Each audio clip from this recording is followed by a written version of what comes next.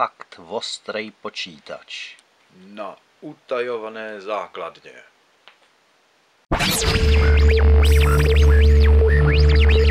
A má to v názvu Sharp.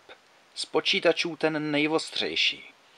A taky s jednou z nejvostřejších periferií, jaké se v poslední době objevily, to je Unikarta. Unikarta nahrazuje nebo řekněme emuluje několik drobných periferií Sharpa. Kromě toho, že emuluje kompletní disketovku, quick disk, eh, sériovou kartu, stará se i o videovýstup, kde umí nahradit, emulovat chybějící grafické karty, u počítače bez rozšířené paměti umí napodobit tu rozšířenou paměť. Nechybí ani Ethernet, přes který se můžete k Sharpu připojit, dívat se na nastavení Unikarty, měnit ho, podívat se třeba na screenshot obrazovky a podobně.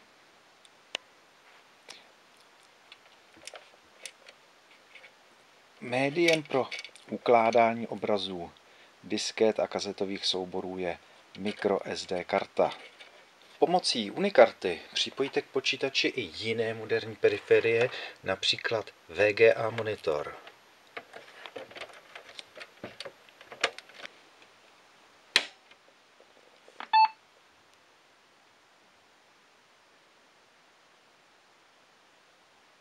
A máme nabutovanou CPM na disketovce která je k Sharpu připojena jen virtuálně v Unikartě. Máme namontovaný obraz diskety. Unikarta podporuje víc jednotek, A, B, C, D a tak dále. K procházení toho, co se nachází mimo image na samotné Unikartě, k tomu slouží takovýhle pěkný manažer.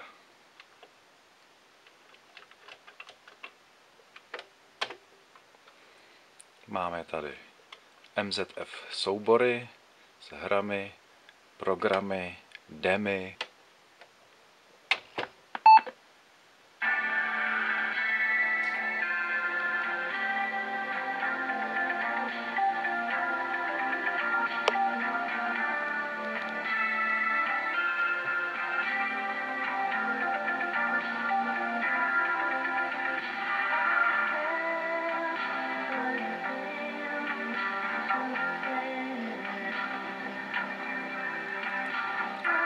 Tohle není nic jiného než přehrávání velkého objemu dat, což zase umožňuje Unikarta. Manažeru si můžeme obraz diskety namontovat, tady dvě jednotky A, a když rebootneme, budeme bootovat z disketovky A, která má prioritu před quickdiskem, ze kterého se vlastně nahrává manažer.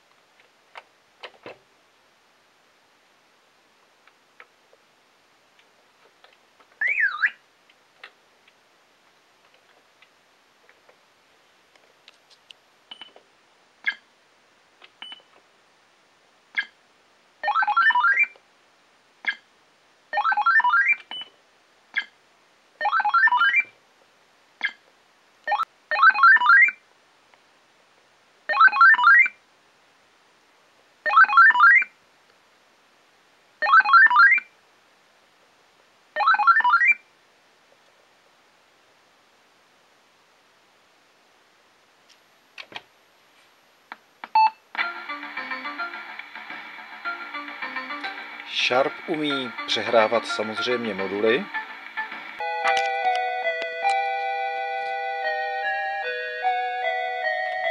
Na Sharpu 800 se dá dělat taková spousta věcí, jako hrát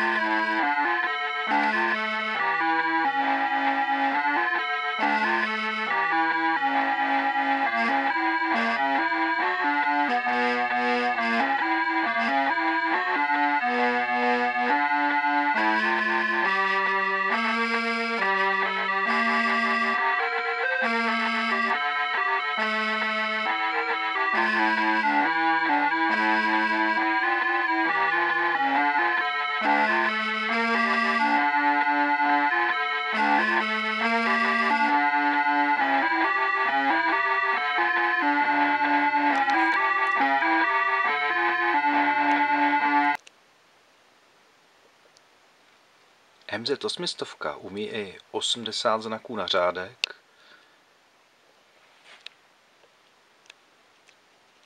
Ale to pořád mluvíme o unikartě u Sharpa MZ800. Osmistovce ovšem předcházela celá řada Sharpů, jedním z nich byl Sharp MZ 700 a ten nemá slot v domečku, do kterého by se dala unikarta zapojit tak jako u osmistovky. Proto se musí připojit externě v krabičce. Sharp MZ700 má textový režim v barvách 40 znaků na řádek. Ovšem díky unikartě umí emulovat i rozšíření na 80 znaků na řádek, na sedmistovce opět po zapnutí naběhne známý manažer,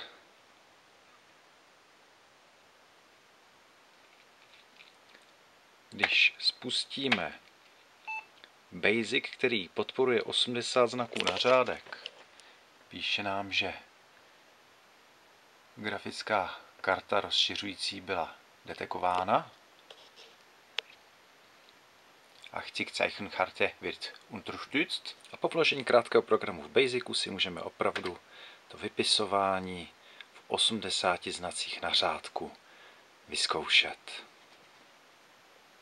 Aby bylo jasnější, jaká je vlastně vymoženost těch 80 znaků na řádek, podíváme se ještě na původní 40 znakový basic.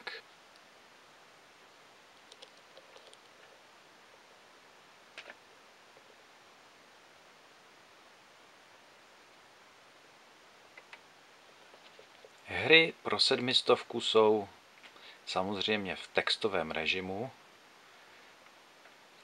Díky Unikartě ale můžeme spouštět hry s japonskou nebo evropskou romkou.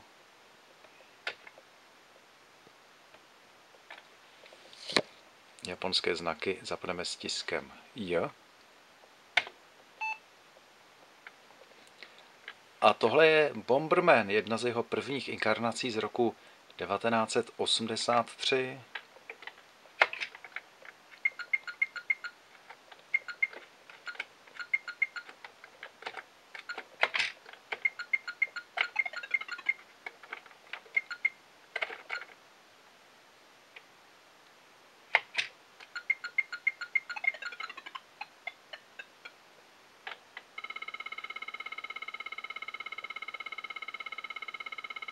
je velký bonus.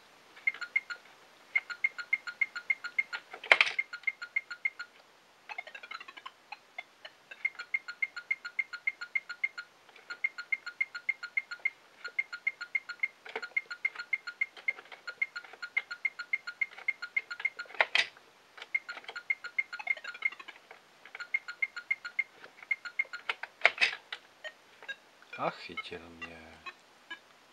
Hardware Unikarty je samozřejmě už hotový. To, na čem se stále pracuje, to je firmware, který na sedmistovce není ještě ve finální verzi. Namontujeme si disketu se CPM a rebootneme. Nabutujeme do CPM. Vidíme ovšem, že se nám 4 sekundy po startu počítač zasekl a nereaguje už na klávesy. Tohle čeká ještě na doladění. Ovšem opět jsme využili výhod Unikarty a CPM se spustila v 80 znacích na řádek.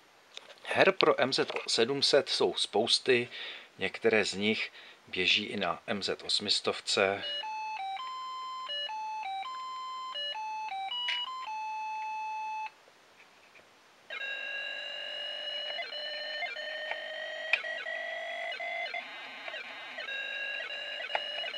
samozřejmě v textovém režimu.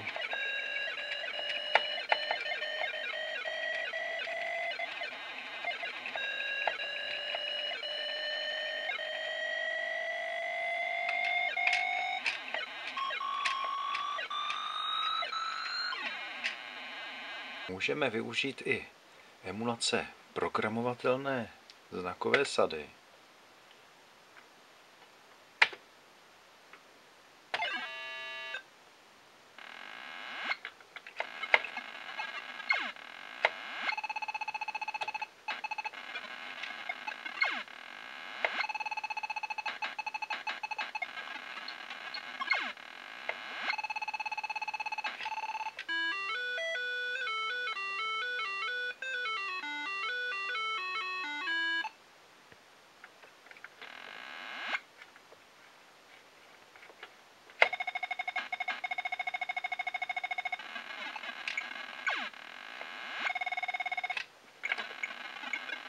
Kromě drobnosti, že je zabudovaná v externím domečku, je jinak Unikarta pro MZ700 stejná jako pro 800.